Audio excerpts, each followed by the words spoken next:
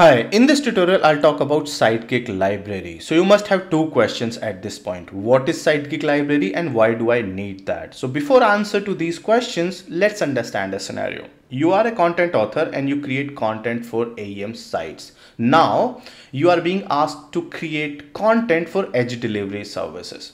So to create content for edge delivery services, you need to understand blocks and how to author those. So now you have to go through all the documentation about blocks uh, to understand the functionality and authoring process. But edge deliver this sidekick library accelerate the process of content creation or authoring by providing the sample content of each and every block So answer to your first question, what is Sidekick library? Sidekick library is a UI driven consoles or tooling where all the blocks are available with different variation and with sample content. Why do you need that? It it actually accelerate your process. Your content author do not need to go all the documentation. They don't need to read all the documentation because the content block authoring with content is available in one consoles from where you can copy block with sample content and add to your document. So Sidekick library as UI driven consoles where all the blocks are available as I already explained and your edge delivery services developer create this functionality. Okay. Now you must remember whatever the uh, functionality we added to Sidekick while customization through few few tutorials through past tutorials that that customization was done through plugins. Each and every functionality each and every button we added that was a plugin. And those plugins were already written. We only configured those plugins except the last tutorial where we added our very simple own consoles. So here also it's the same we have a block plugin. This sidekick library would be configured through block plugin. This plugin is already written. We only use that okay? This can be interview question. So remember this sidekick library use block plugin. So configure sidekick library has two steps. One is you have to add some configuration in your github repo. Means you have to add configuration in your file. Second you have to create some folders and some file in your content repository. Means either google drive or sharepoint. So let's understand first the code related changes. So you have to create a file library.html. You have to create this inside sidekick folder. You can create at any other location as well because we would be referring those, but I will make it consistent because I all always create files related to sidekick inside sidekick folder or inside tool folder and this is the standard way of doing it once you create this file, I'll give the content here, what you need to write in library.html and I also added a documentation link. Now you have to call this file in your config.json means you have to create a action, a button to call this functionality.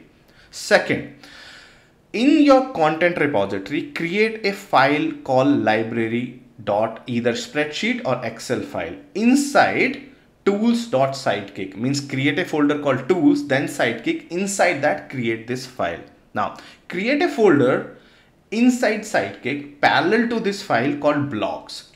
In this folder create one document for one block. Okay let's say you have five blocks so you have to create five document inside this. With the name same as your block. Okay you can configure it but we will follow the standard process each each document would contain different variations of that block right? We'll see how to do that.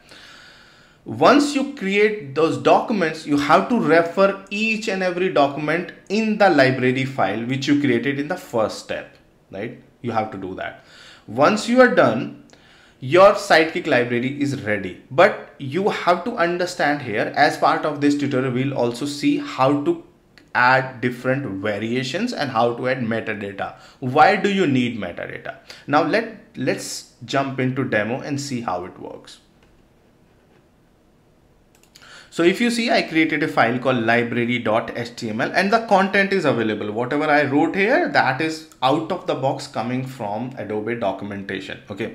This is the section where you can configure as per your need. Means if you need to add a different viewports more a custom viewports you can add it here.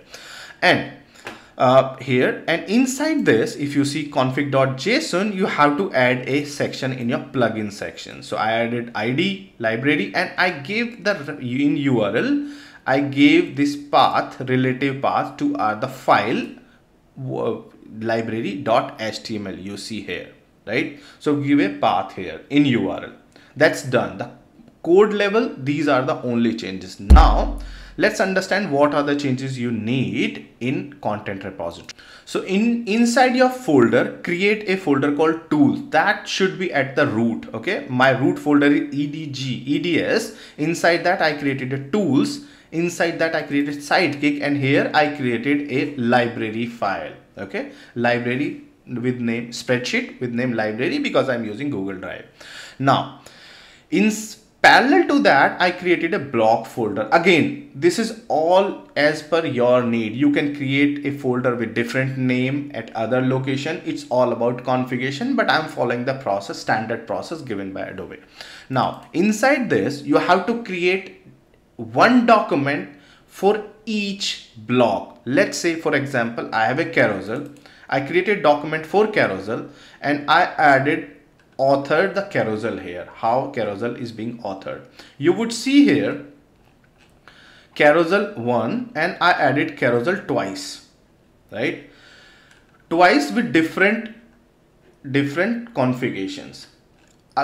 In those carousels I added a line here now you would understand if you remember these become sections. So to create sections we added this separator either three hyphens or a horizontal line. So now you would see there are two sections here in this document. One is above a bottom. Above has if you see one two three four five.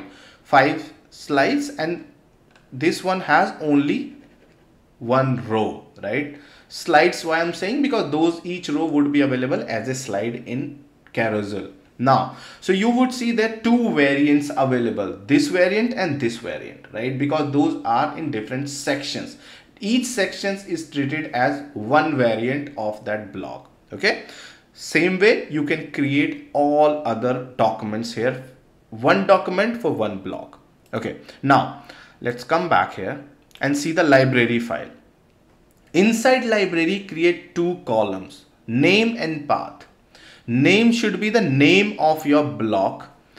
Path should be the path of your document relate in your Google Drive or content repository. If you see here, it's relative to your root folder.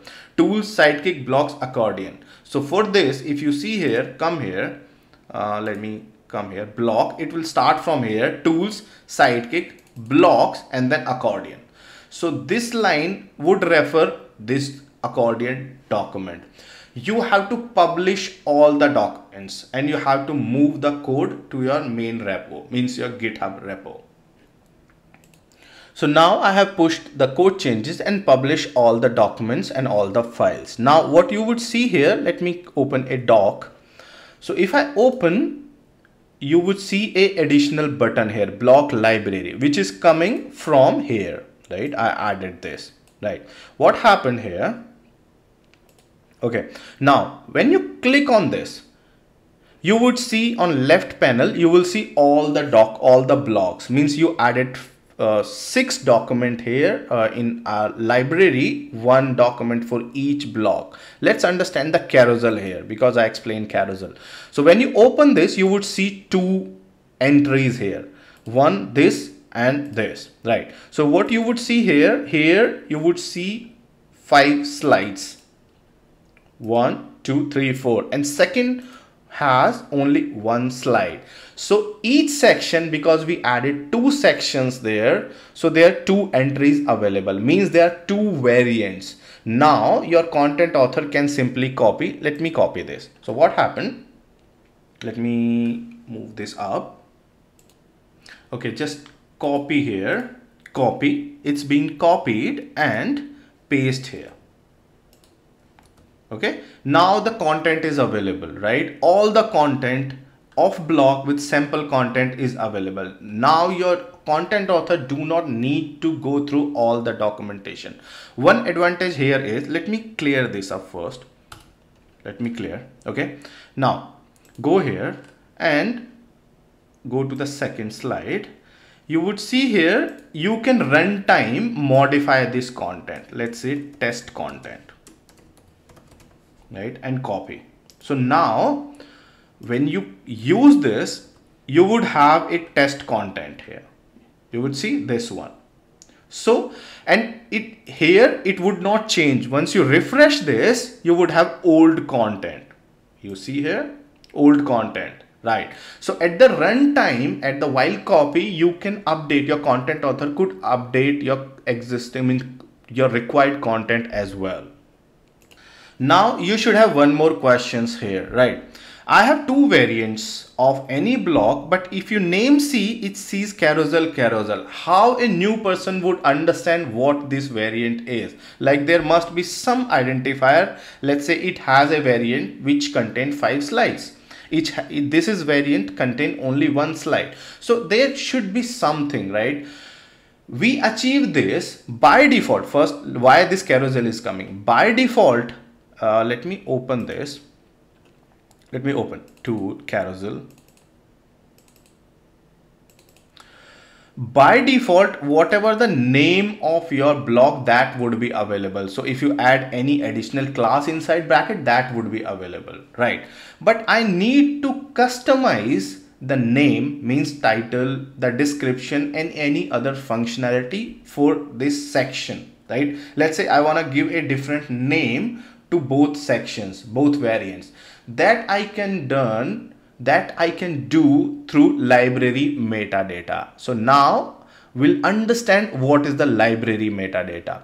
Library metadata is a block of metadata, metadata I have already explained, where you can update the configurations like title, description of this variant, means this section. There are two type of library metadata one is specific to your section, another one is specific for your block. In this tutorial, I'll talk only about the specific to sections.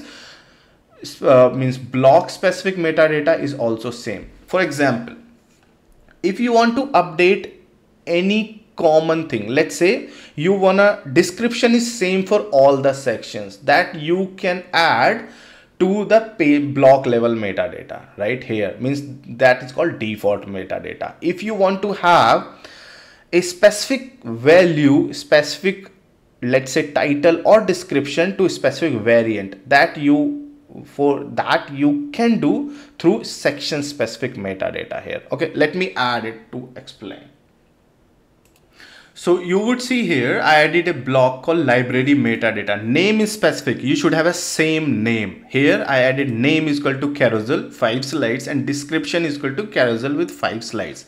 Same way for the different section, uh, second section, I added carousel one slide, carousel with one slide as a description. Now let me publish that. But before that, let me show you here something. Okay, uh, block library here right. You would see their title is carousel and there's a no description. So let me publish this.